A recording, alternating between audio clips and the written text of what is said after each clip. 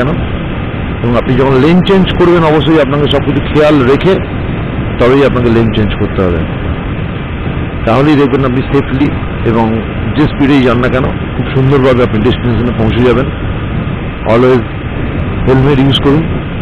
আমি বারবার আমার প্রত্যেকটা ভিডিওতে সবাইকে এটাই বলি যে অলওয়েজ সবাই হেলমেট ইউজ করুন অ্যান্ড প্লিজ সিগনাল নোটিস করুন। কান্ডুয়া।